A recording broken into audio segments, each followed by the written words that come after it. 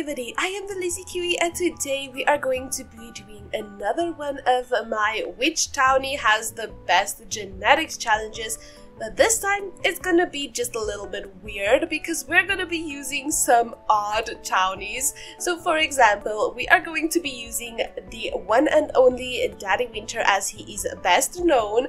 We are also going to be using the one and only Grim Reaper as well as the Scarecrow, which yes, it is technically an object, but if you really want to, you can turn him into your true love. So that's exactly what we're gonna be doing today. And as you can probably tell down here, I've done this once before, but for some reason, it the recording just stopped so I do not have that footage anymore. So I still want to do this video. I could have just decided to stop and not even post anything today but I am going to I am determined to get this video out for you guys. So instead I thought it would be fun to show you guys what we did the first time and then try to do something different for the second try. So this was the baby between our main sim Edith here that I've shown in the beginning. This is also the sim we're going to be doing this with again. So this is the mother and then the father for this baby was Father Winter. So that's how this baby turned out the first time. I'm interested in seeing how it's gonna be the second time.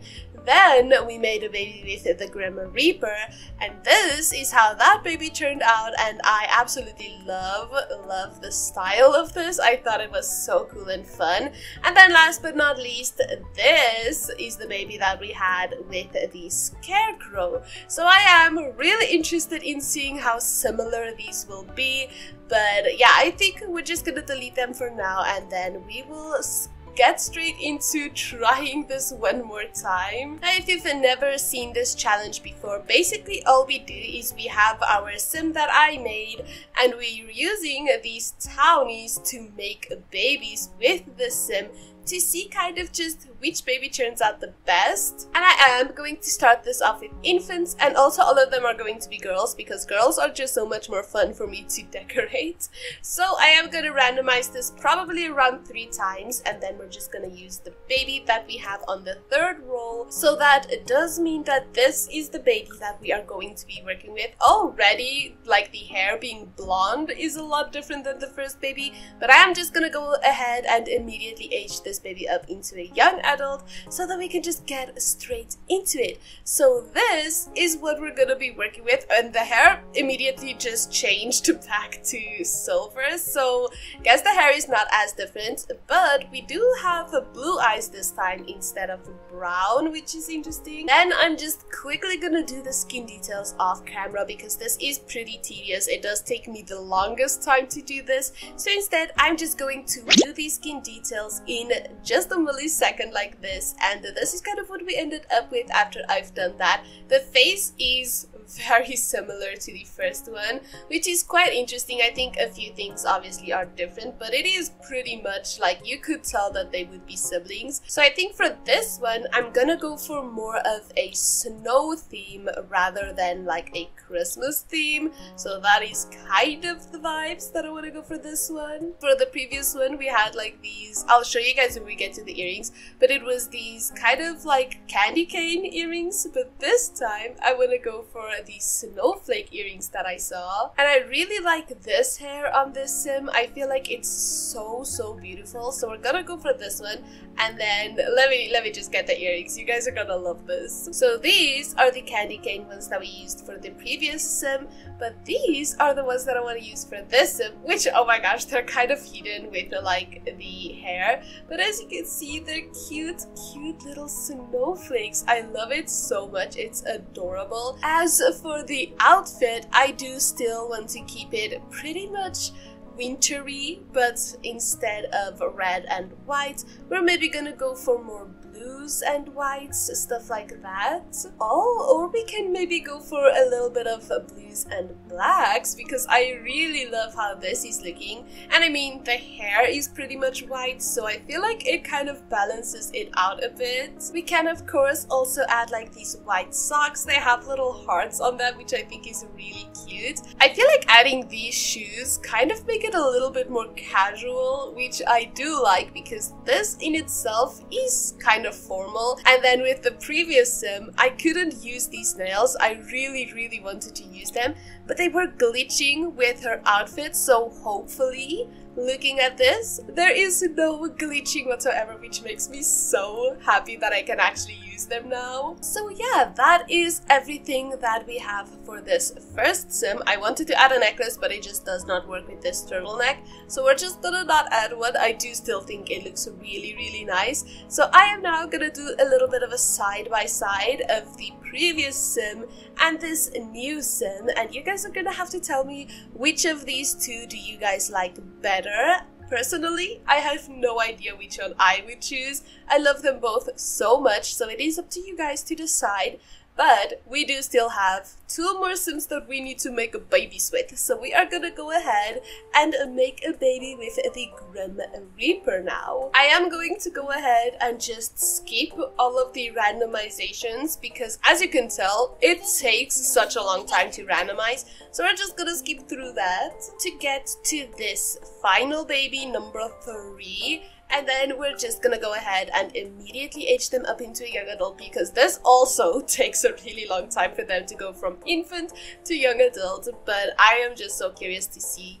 This is the baby we're gonna be working with again pretty much kind of similar to the other one. I mean, it is the same mother and father for all of them, so it does make sense that you can see that this one does pretty much look like a sibling to the other one, which is so interesting. I love seeing that, it's so cool. But I am, again, just going to quickly do the skin details and in a second it'll be all done and this is kind of what we ended up with I really really think it's so similar to the first one. We can kind of go more or less in the opposite direction and go for something much more light and colorful. Well not colorful very much white colors. I feel like that would also be interesting. So this time the sim does have black hair instead of red hair like the previous one. And I do think that's pretty cute, but maybe we can try to make it a little bit more interesting. I do, however, really want to try to maybe see if we can add some white elements into the hair. So like probably something like this could be really cool. So now instead of all of the dark and spooky colors, we can maybe go for much more light and airy colors. And this top, I was going to use this top for the previous sim, but now I feel like this fits so much better with this one. It looks almost like ethereal. It looks so, so beautiful. I think it works so well with this. I can go like full out and add one of these, but I'm not too sure. Okay, well, this is cute. This this can really work. I oh my gosh, it's so pretty. Okay, listen, like I know it's kind of easy to go for a matching set, but is this not just the cutest thing you've ever seen in your life? Because it sure is for me, and I love it. I think it's adorable, and I really want to keep this. We can definitely do something like this. I feel like it's so different from the first one, which is fun because I don't want to do the same thing over and over again. So instead, we kind of do something quite like this, which is pretty much the opposite of the first one. I think this turned out so, so pretty. It's very angelic, very pure with all of the whites, and it's very much opposite of the Grim Reaper, but I will put up a side by side of the previous sim and this sim again so that you guys can see what the differences are and kind of which one is your favorite. Do let me know in the comments down below. But again, this is not the last sim that we have for today. We do still need to make another baby with the scarecrow. Once again, I'm just gonna skip this genetics part because as you can probably tell by the frozen baby on the screen, it takes quite a while for them to regenerate into another random baby. I honestly don't know what the chances are because all of the babies I rolled previously, like the previous two, had red hair. This is the first one that has brown hair between them. And with the previous sim, the baby also had red hair. So I don't know what the chances are for that, but this baby does have brown hair. And this is going to be the baby that we're going to be working with for this sim. So this is the baby between the scarecrow and our sim. Second try, of course. So I'm just going to take off everything that this sim currently has on again. It's gotta be a blank slate, people. But I am again just gonna do the skin details real quick so that we don't have to wait for a long time. This is what I ended up with with this sim. This time the sim is quite different than the previous sim that I made for the Scarecrow. So it's quite interesting to me. I really don't know how the genetics work in this game sometimes. Sometimes I really think it's pretty much just random. But I am really happy with how this sim is turning out so far. Oh, I should probably do the makeup first. So if the previous sim we went very much like equestrian, I think that's what, I think it's an equestrian, like the horse rancher type style. This time I want to maybe go more farmer style, like more naturey. And I feel like this hair is going to be perfect for it. It's giving very much like this cutesy vibe, which I love. And we can add this little bow in the back. So I am absolutely sold on this hair. I think it's so pretty.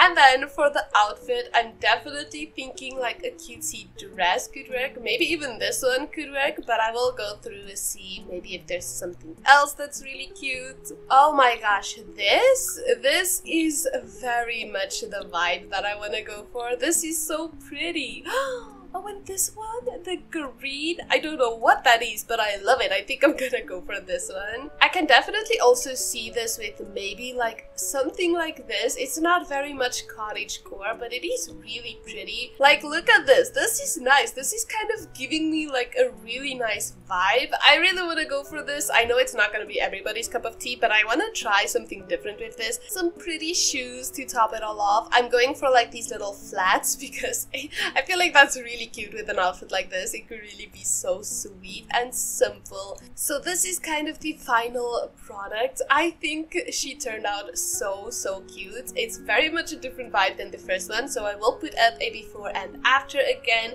so that we can see how this one turned out as well. Again, I don't know which one is my favorite. I love them both so, so much. So it is up to you to choose which one of all of these was your favorite and which one just of the first or the second was your favorite for today because I had a lot of fun with this. Oh, and also, of course, which random weird townie do you think makes the best babies? In my opinion, I personally think that Grim makes the best babies, but that is just my opinion, so you guys need to tell me which of these you like the best.